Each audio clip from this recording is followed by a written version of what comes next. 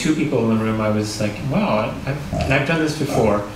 Traveled all over New York State to talk about um, educating uh, uh, both um, providers and, and patients about heart failure. And I've been in places where we spoke to two people or one person.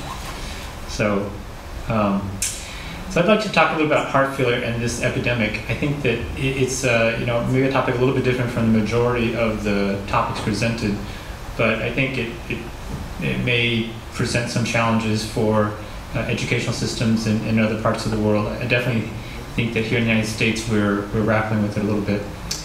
Um, I'm from Strong Memorial Hospital. We're a, a, large tertiary quaternary care hospital, the, the 21st uh, largest academic medical center in the United States. Um, every time you give a medical talk, you have to have the helicopter shot from the air, and this is our campus. And our hospital and the beds that I manage patients at, we look out at Mount Hope Cemetery, which is a very large, beautiful Victorian cemetery. But many of my patients ask me, why, why do we look out at a cemetery? and uh, I don't have an answer for that, although many hospitals developed near cemeteries because uh, at one point hospitals were mainly to help ease suffering and, and transition people. Nowadays, hopefully, we, we don't um, send too many people in that direction. So just, uh, just you know, we heard a little bit about Rochester from some of the speakers, but uh, this area, and I've lived here for now 11 years, uh, we have some great things. One is we have enough water.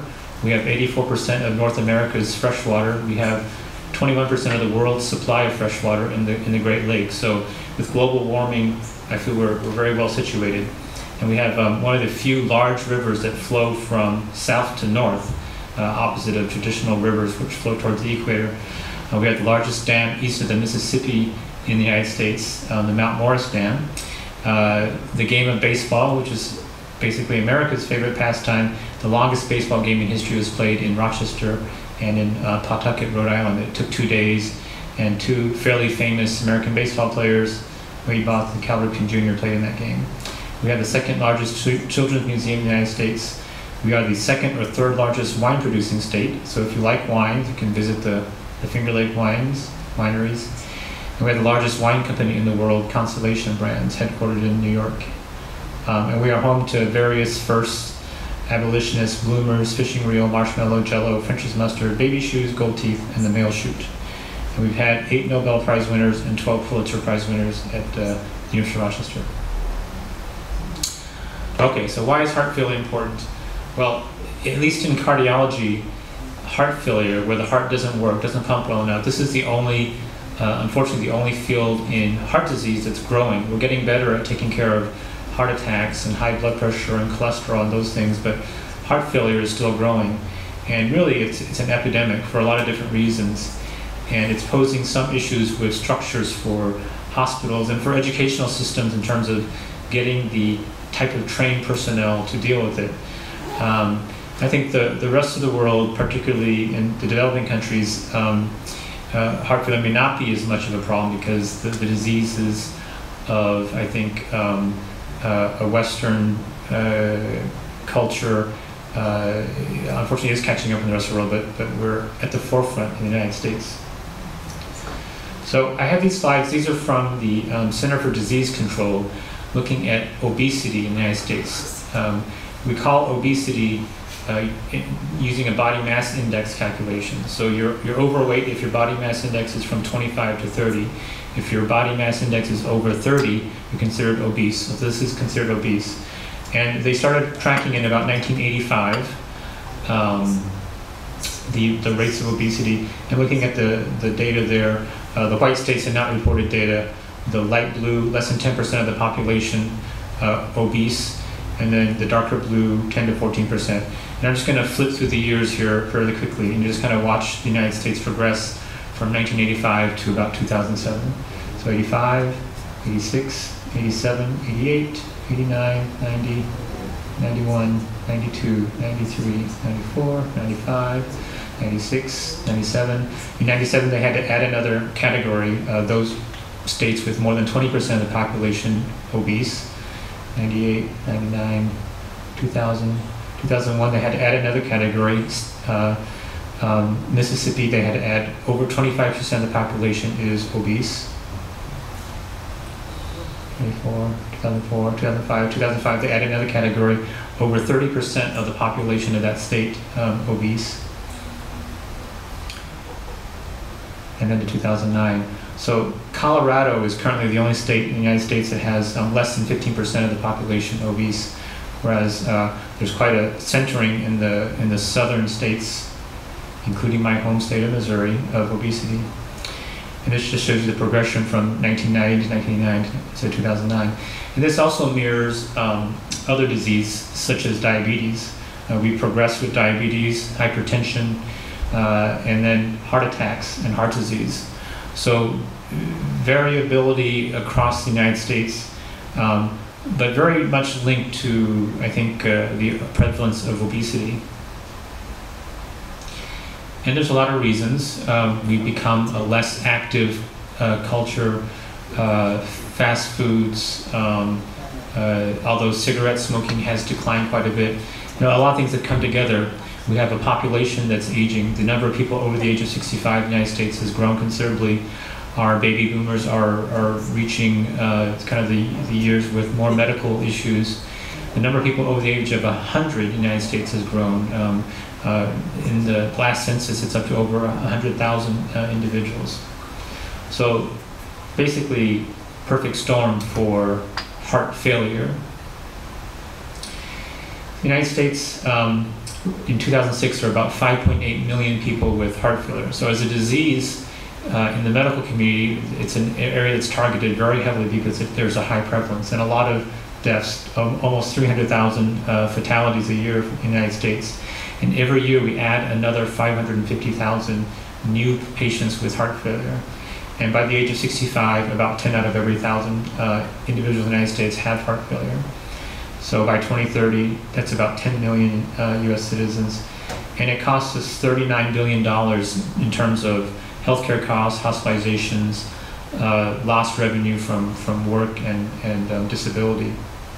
And it's equal opportunity um, it, as, uh, as women uh, become older, they catch up with men and actually pass men in terms of the heart failure prevalence. And the same with heart failure hospitalizations, actually uh, more women than men are hospitalized. This is a little bit older slide, but just breaking down the breakdown, the majority of the costs are in uh, hospitalizations and, and, nursing home care. This is a slide from 2005, and the costs were estimated $25 billion. So one of the questions is, is what do we do in the United States, and um, how do we uh, try to deal with this booming population of heart failure patients? Well, we definitely have the, the, the high end, and this is what um, we are in Rochester, having the ability to, to take care of the, the sickest heart failure patients. And we have a, a heart failure, advanced heart failure program since 2001. Um, in the Rochester area, we serve about four and a half million people. We're the only transplant center.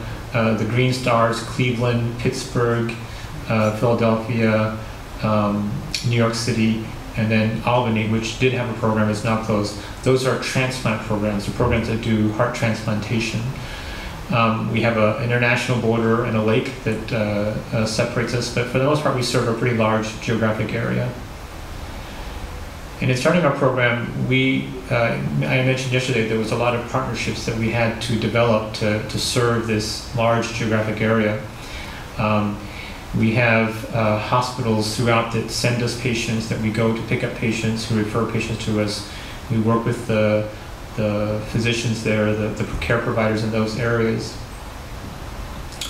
And we have um, ways to transport patients by ambulance, uh, critical care transports using uh, special teams of providers, nurses, and, and other special providers to pick up patients from all over the state.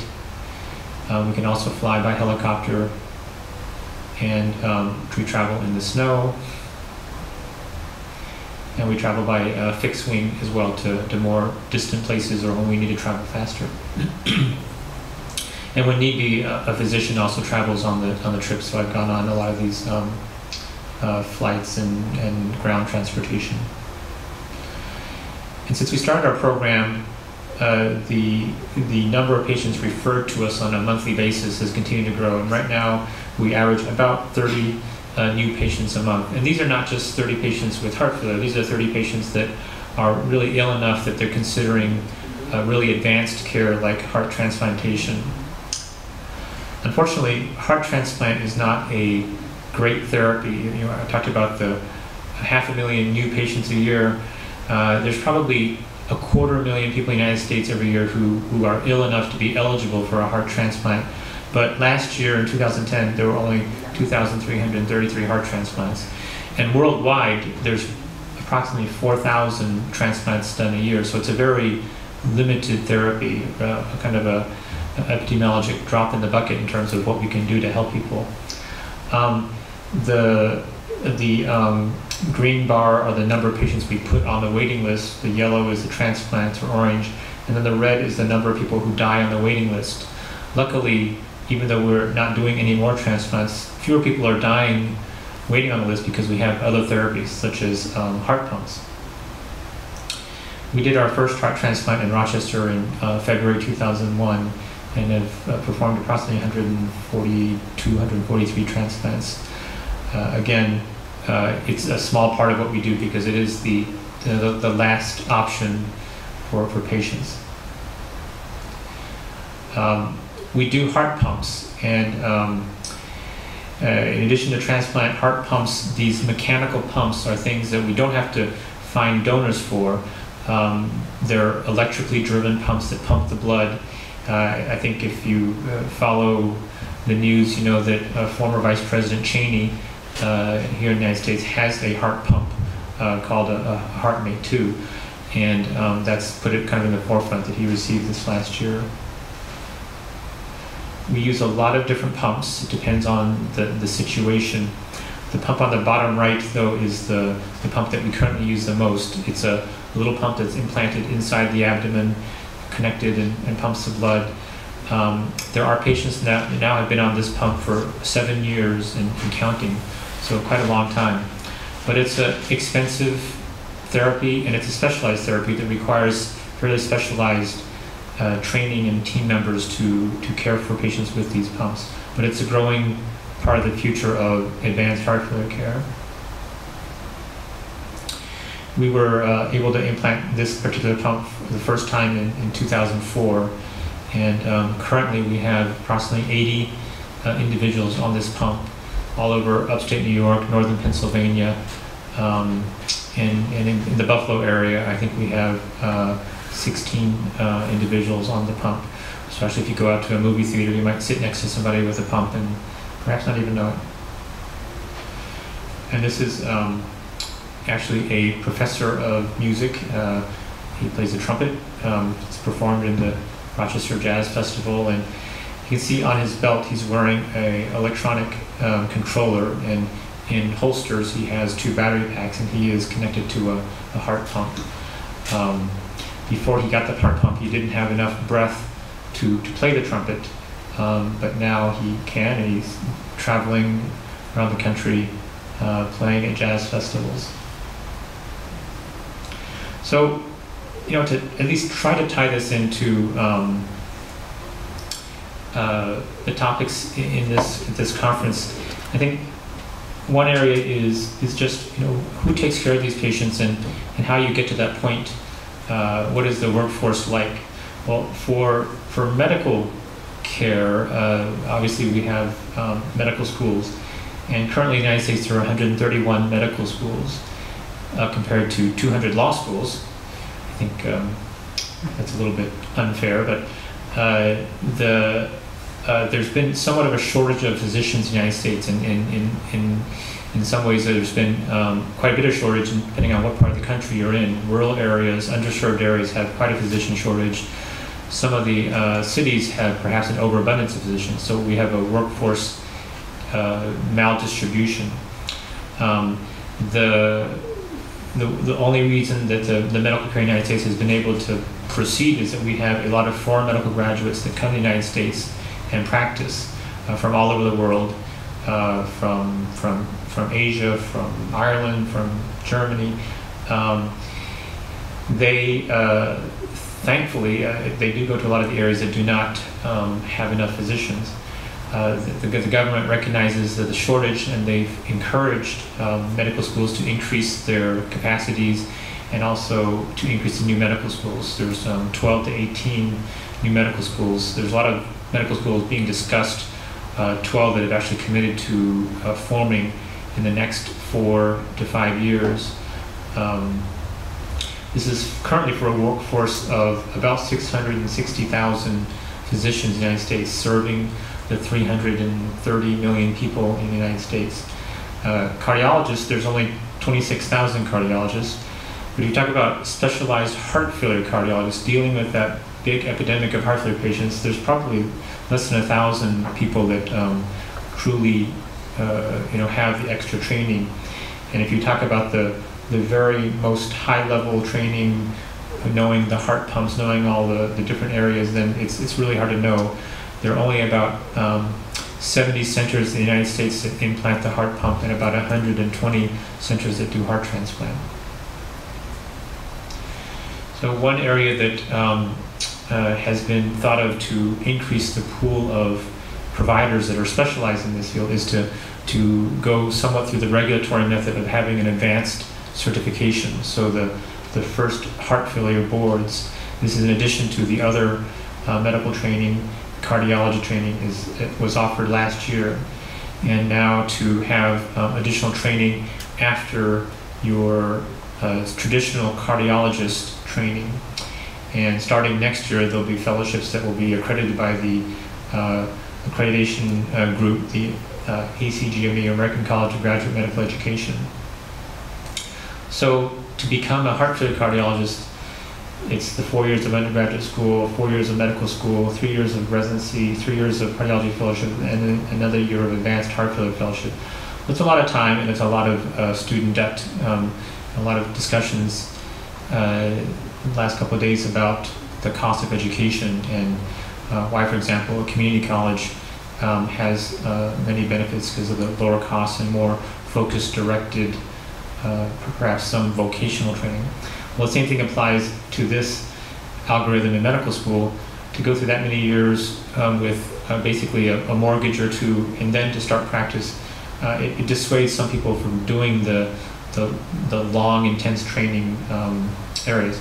So our governing boards are talking about ways to shorten the period of time. I think there's always some risk if you shorten the time too much, will the training be adequate? But um, they're looking at ways to cut off some of the time. Now we do a lot of things because we know that the providing of the care is is one thing, but you know the best thing would be to disseminate care to be done by everybody: Pri primary care physicians, general practitioners, uh, other cardiologists. So we do a lot of uh, education throughout our region. Um, better yet, if we could prevent heart disease from happening. Uh, the obesity epidemic, well, there are ways to get around that. You know, add sidewalks. Um, change uh, uh, the, the suburban um, urban differentiation, uh, make commuting by cars less desirable, different things to change that. And I think that there's a lot of things afoot now. For example, the state of California took chocolate milk out of their cafeterias. So the, uh, the sugar content of the, the children's diet will, will fall by you know something like 500 calories a lunch. Um, taking out the, the bad foods in the in the vending machines. A lot of things that can be done, and there's a lot of research looking at this because the cost of the care that we deliver with mechanical heart pumps and transplants is far too expensive to be sustainable in um, in this country, let alone in the rest of the world. So I think there have been ways to address this with um, curriculum development in the medical school to um, target prevention more so than treating the disease after it happens. So we much rather prevent the disease from ever happening. Um, in our training programs at various levels, uh, awareness of heart failure and the epidemic, um, training other uh, physicians to to be aware of the of this group of patients. Um, the hospitals care very much because in the United States there are measures where care of patients with heart failure are linked to uh, payment, to money. So when the hospital knows that they will not uh, get paid if the heart failure management is not up to a standard that the government sets, then there's a lot of initiative to improve that. So we have a lot of initiatives in the hospitals on safety, quality, and patient satisfaction, three areas that um, the government is uh, focusing on. For example, for the University of Rochester, starting in July, our management of heart failure patients will be linked to reimbursements by Medicare, the largest payer uh, for, uh, for healthcare in the United States. And if we don't meet certain targets, we, we stand to lose up to 2% of our annual Medicare uh, funding, which it, at strong would be approximately $9.2 million. Um, so a, a, very large uh, stick um, to uh, improve care, and we're definitely working on that. Another area that's been worked on is uh, augmenting our, our workforce with um, uh, called physician extenders, um, uh, mid-level providers. These are nurse practitioners and physician assistants primarily. These are uh, well-trained um, uh, care providers uh, that um, can augment the workforce considerably uh, at less cost uh, to the healthcare system. And of course, disease prevention. You know, heart failure is typically uh, in the United States, the main cause of heart failure is heart attacks, which is linked considerably to uh, smoking, obesity, hypertension, cholesterol, a lot of the diseases that um, are modifiable. And yes, there are genetics, there are congenital heart disease, there are viruses, there are diseases that uh, as individuals we don't have control over, but I think the ones that we do have some control over, we have to work very hard to reduce. And a lot of research is going on to uh, prevent this healthcare or uh, this heart failure epidemic from really bursting our uh, healthcare crisis in terms of the amount of money that we spend on healthcare. So that is my quick medical presentation. Um, uh, is uh, it's the University of Rochester saying for for I think it's onward, ever onward, ever higher. Uh, so any questions from anybody, happy to uh, answer them. The, uh, the recommendation for steps a day is, is 10,000 steps. For the average person, depending on your stride, that would be about five miles of walking. So it's anywhere from 2,000 to 2,200 steps a day is a mile for the average person.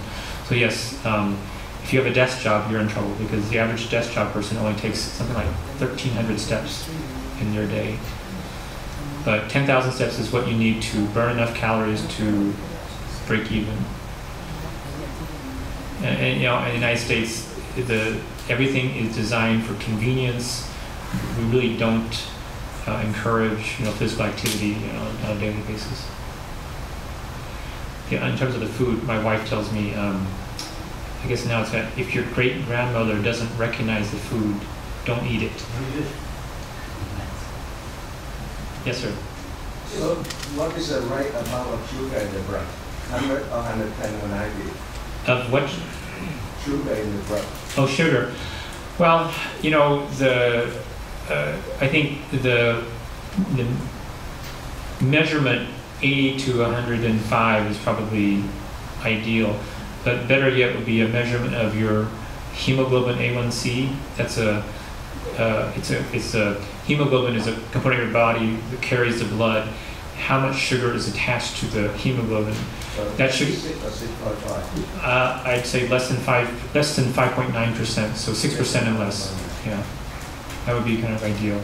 Now in Asia, you know, we, we have a um, uh, unfortunately a, a, fair genetic propensity for what we call um, uh, uh dyslipidemic syndromes, and um, so high, high blood pressure, high cholesterol, and high blood sugar.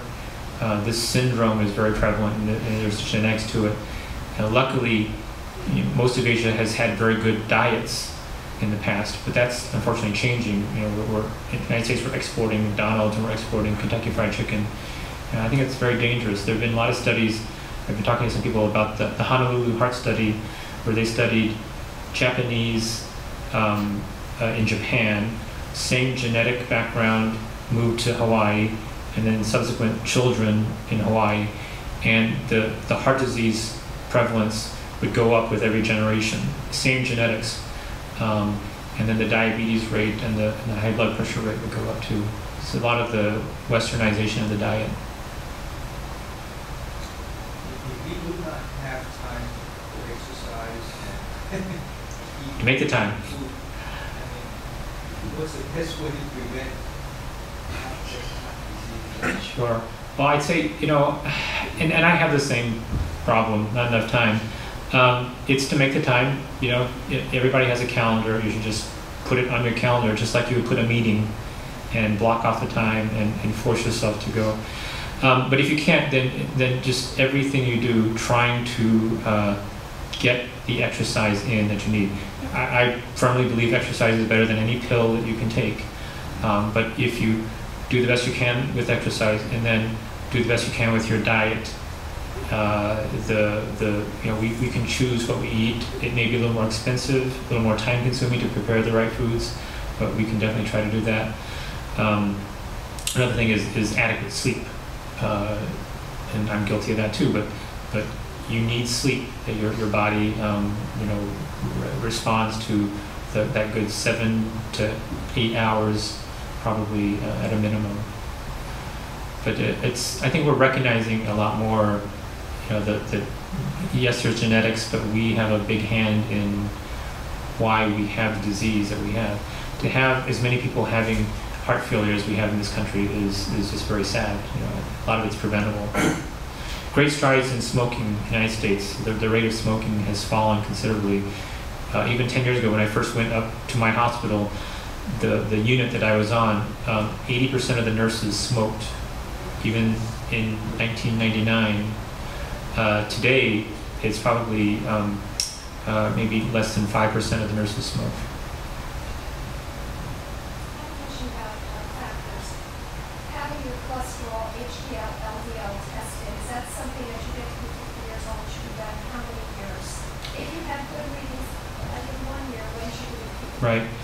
So they, uh, the, the, there's U.S. Public Task Force guidelines and the various health communities guidelines, but you should get tested once when you get into adulthood. Typically, that's 25 or so, and then depending on your risk factors, um, uh, they they have recommendations every five years, every 10 years. So if you are pretty healthy, you don't have any risk factors for heart disease, don't have a family history, pretty healthy otherwise, then the testing is pretty infrequent. And I think it, uh, it's either five years or 10 years.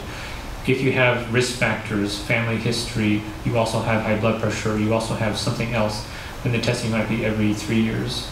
So it's kind of as your risk is higher, the frequency of testing is more more frequent. My doctor recommend every three months. Is that too often? For cholesterol testing, And if you're sugar. If you're uh, if you're under treatment, then perhaps it would be okay to test that frequently. If you're not under treatment, it may be a little too frequent. You know, I think every case is very individualized, so you have to kind of, uh, on an individual basis, decide what's. Any test has danger. Drawing the blood, there's false positives, there's false negative. If you do 10 tests, one's going to be a false positive or false negative, just statistically speaking. So, so we do testing judiciously. It's just because we can do it doesn't mean we should do a test. But again, if you're under treatment, we you may need tests every three to six months, depending on, you know, if you started off high, started off low. The questions? Yeah, in Indian country, um, Native American country, there's just, yeah, it's just a huge epidemic Yeah. that's going on out there, you know, and, and even genetically, Right. there's a, Right. That effect. That, yeah, that's uh, it's very well known, and um, you know, and I've I've seen some research postulating that there are some genetics involved, and then the the diets have evolved, and um, and the exercise level evolved. So, whereas probably a lot of the disease that was environmentally uh, suppressed by more healthy habits and, and, and um, better diets have now evolved. Um, I, think you know genetics in medicine is, is a huge area, and, and most academic research centers are, are pursuing genetics. We can now sequence your entire genome We've identified many of the genes that produce diabetes, many of the genes that produce um, high blood pressure, many of the disease, genes that produce heart failure. Right now, we can't change any of that. We can just identify it. But I think eventually it'll be, you know, find out which genes, and we may be able to alter them. But in the in the uh, Native American population, uh, Hispanic, Asian, there's a lot of disease that's coming forth because I, I personally I think that we weren't designed to eat the the amount of you know complex carbo or uh, simple carbohydrates, the amount of fat in our diets, the number of calories that we take in. You know, no one needs a Starbucks frappuccino with eight thousand calories. Um, it's just excess calories that your body has to store and it stores it in a, in a bad way. So I, I don't have the answer for the Native American population other than just like everybody else, you know, good diet, exercise. How do you educate? What's your, what's your suggestions as far as starting that education process, especially those who have no, in these rural areas? Uh, it, it's it's multi multi pronged. So in the schools, um, you have to start start in the schools. We got to teach good habits. We got to have good foods in the school. You know, in my kids' um, uh, cafeteria, you know, they serve fried chicken fingers and pizza, and uh, and you know that's just not setting up a good, healthy future life if that's what they get exposed to at school. Even you know you do what you can at home, but um, and you have to make it possible to get healthy foods and local growing of foods and and um, uh, I think the the culture we're talking about. I'd love to bike to work, but to bike to work and then show up in my suit and have no shower and no place to park my bicycle. Uh, there's no bike paths. You know, there's no sidewalks.